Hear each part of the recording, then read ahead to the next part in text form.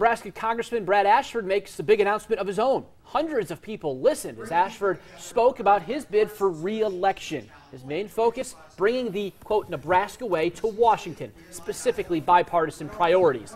He says those include growing the economy, keeping promises to veterans, and also preventing terrorism.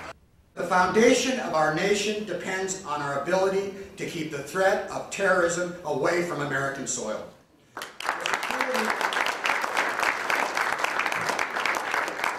The security of our families, our communities, and our country must be our top priority in Washington. There is no greater responsibility for our elected leaders than to accomplish this goal.